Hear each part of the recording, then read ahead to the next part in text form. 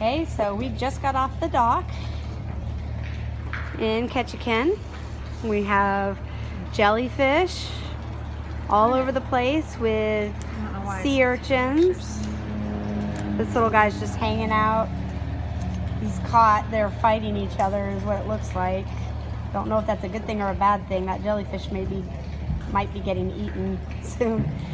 And then if we look over here, there's purple starfish everywhere. There's one, I can't zoom in anymore, but that, that white thing is a starfish trying not to fall into the water. But there's some purple ones right there. Saw a really pretty orange and white one. Just absolutely beautiful sea life. Here's another one. Beautiful sea life.